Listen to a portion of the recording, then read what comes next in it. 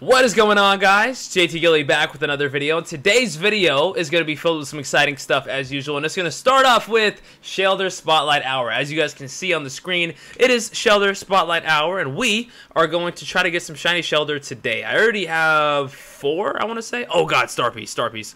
I already have four shiny Shellder in my career, so these are all going to be extra.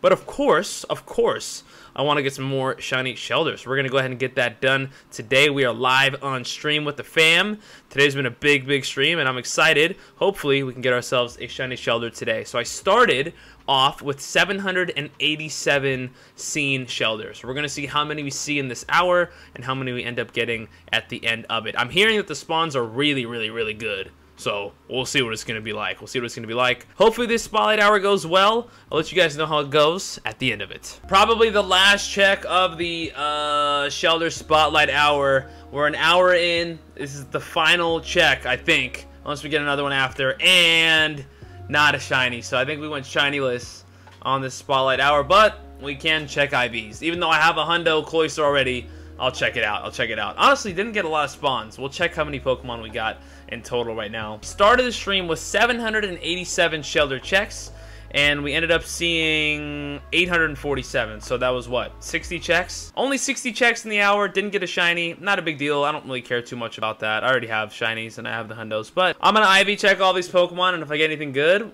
we'll see. Wow, that's crazy. No good IV Shellder at all. That's the GG on the Spotlight Hour. Alright, hope you guys enjoyed those stream highlights right there. Unfortunately, as you guys saw, that Shellder Spotlight Hour for me was no good. Granted, I got a lot of Stardust, but no Shinies and no good IV Pokemon. But now that we got that over with, I actually have a ton of news to get into today. It's all very exciting, except for one thing that we're going to kind of talk about and talk about how the community is reacting to that. But other than that, it's going to be very, very exciting news. It's kind of a lot, so I'm going to try to condense it as much as I can. Let's go ahead and hop right into it. The first piece of news, I guess, this is really quick news, but tomorrow, Friday, is Safari Zone, well, it was supposed to be Safari Zone Philadelphia. So as you guys know, these Safari Zones were supposed to happen. They didn't happen. They got postponed slash canceled, but they still happen in-game. So if you guys want to watch me play Safari Zone Philadelphia live tomorrow, I'll be live streaming the entire event on Twitch, twitch.tv slash jtgily. Link is in the description down below, twitch.tv slash jtgily. I'll be streaming the entire event, so if you guys want to catch some shinies with me, I suggest you guys come through. It's going to be a great, great time. Now that we got that out of the way, let's move on to our first piece of news here. So we have a incoming event very, very soon called Snubbull Day, which is going to be happening this Saturday, May 9th from 8 a.m. to 10 p.m. in your local time. Snubbull Limited Research will feature more than 50 special timed research tasks rewarding encounters with Snubbull. If you're lucky, you could even encounter a shiny Snubbull. Now, shiny Snubbull, one of the most underrated shinies in the game. Honestly, I love it. I already have the shiny Snubbull family, but I'm still gonna do this because I'll take some more shinies. So if you're wondering how this is gonna work, I believe in your today view, they're gonna automatically put in 50 research tasks that are going to be limited time. So you can't keep them for next week. You have to finish them on Saturday, but I'm sure they're gonna be very, very easy, like catch three Pokemon, uh, use five raspberries, da da da da, transfer three Pokemon, really easy stuff like that. And each task is gonna reward you with Snubbull. So great chance to get some shiny Snubbull in your collection.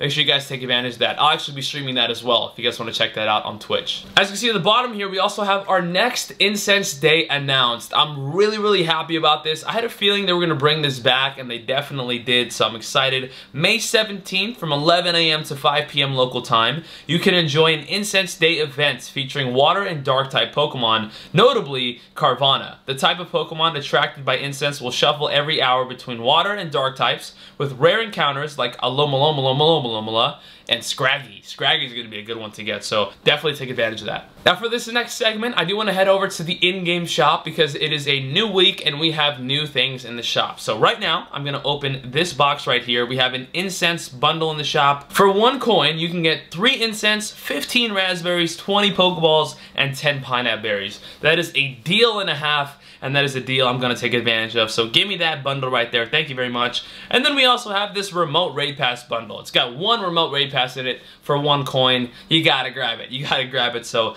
let me grab that as well. Make sure to take advantage of those because those bundles leave the shop every Monday. As you guys may know, the legendary Pokemon Giratina is back in raids until next week. So let's go ahead and talk about Giratina's best counters. It's 100% IVs and all that good stuff. As you guys know, the shiny form is available. That's what it looks like in the middle right hand side right there. You need about three to six trainers to take it down. Its catch CP ranges from 1848 to 1931, and then its boosted CP ranges from 2310 to 2414. The best counters for Giratina are Rayquaza, Palkia, Salamence, Haxorus, Dragonite, or Garchomp, but in general, he's weak to Dark, Dragon, Fairy, Ghost, and Ice types. And since we're on the topic of raids, and we just bought that Remote Raid Pass bundle, I have some very exciting news regarding Remote Raids. So, as you can see right here, Remote Raid invitations were found in the code. Now, I thought they were going to come out last week. They probably had some problems and it didn't come out. So I'm assuming they're coming very, very soon, like within the next week or two. They're found in the code. This is very exciting news because we all need these remote raid invitations so bad. It's pretty much going to allow you to invite friends to raids no matter where they are.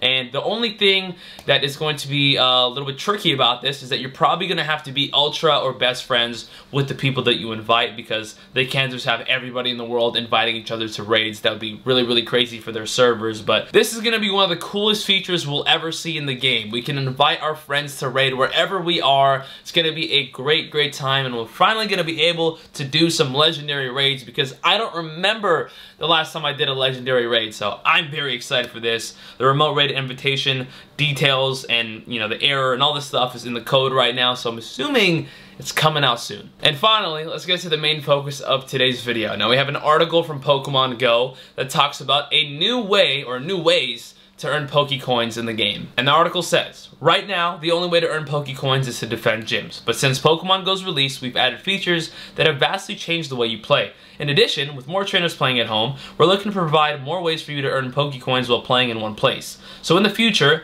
we'll be rewarding you with Pokecoins for activities besides defending gyms. We'll soon be testing this update in Australia, and it'll be coming to everyone else after we test it out. In order to balance this new method of earning Pokecoins, the number of Pokecoins earned from defending gyms will be reduced from 6 per hour to 2 the maximum number of Pokecoins you can earn in a day will be increased to 55. Here are some of the daily activities you might see. Complete the featured activities each day to receive 5 Pokecoins. So it looks like, from the way they're wording this, if you complete all of these tasks, you'll earn 5 coins a day.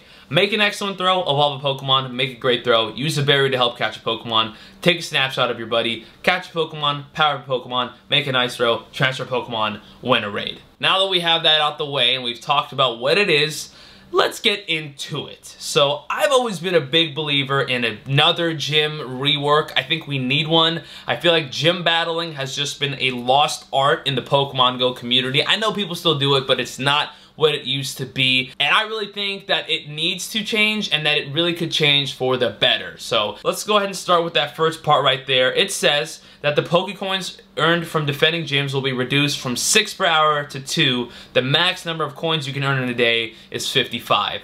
That means you'll have to take over and defend a gym successfully for 28 hours. So for more than one day, you need to defend a gym to earn the maximum amount of coins, which already doesn't make any sense if the daily maximum is 55, but you have to hold it for an entire 28 hours for that to count. It really, it just, it just, that math doesn't really make any sense. First of all, the max amount of coins you should get in a day should be 100. If you're able to defend a gym from people, then you deserve the coins. Why they reduced the coins per hour from 6 to 2, I have no idea. Why it's only increased to 55, but like uh, that entire paragraph just kind of hurts my brain. I saw so many people on Twitter talking about it. I saw so many people very, very up in arms about this little piece right here, and I agree. I mean, it'll work if it's what we have have, it's what we have, but I think they're going to change it. Now, granted, this is all a part of the test, so if we voice our opinion with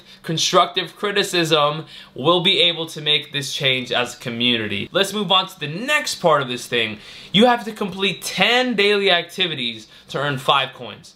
As you guys know, there's nothing in the shop that gets you 5 coins other than those weekly bundles, which are great. So that's good, but let's be honest, that's not what we're trying to save up the coins for. It's only one coin. I'm sure a lot of us do have that one coin, and that won't be too big of a deal. So as you can see right there, we need to complete 10 activities to earn 5 coins. 10 activities. I would rather they every day give 3 of those tasks randomly to each trainer. So each trainer will randomly have 3 of those 10 tasks and if they complete all three of them, they get their five coins, or maybe five of those 10 tasks. Overall, I do appreciate they try to find ways for us to get Pokecoins because I know that means a lot to a lot of people around the world. I'm definitely going to do those 10 tasks a day. That's kind of going to be easy for me, but I know for most people, that's not going to be easy. So hopefully they can find ways to make that better for everybody. And again, this is just a test. All we gotta do as a community is find alternatives or little tweaks to this and then voice our opinions and hopefully they'll get it changed. Hope you guys enjoyed today's video. If you guys did, make sure to leave a like